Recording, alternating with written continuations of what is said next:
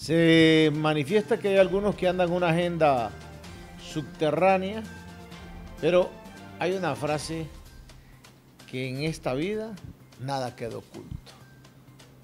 Todo lo que alguien esté tratando de efectuar va a quedar claramente evidenciado. Yo hablo con el pueblo, hablo con los colectivos, hablo con los sectores, estamos trabajando fuertemente para lograr restituir en Honduras un sistema democrático. Recuerden que uno siempre tiene que analizar, Mariela, de dónde venimos, dónde estamos y hacia dónde vamos. Venimos de 12 años de narcodictadura, una situación bien difícil, oprimido el pueblo. ¿A dónde estamos? Estamos en un año y tres meses de gobierno.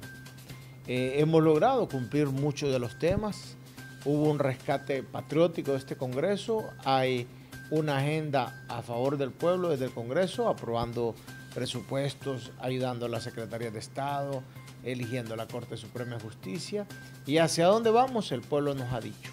Queremos ir a un Honduras con justicia, con democracia y por supuesto con bienestar.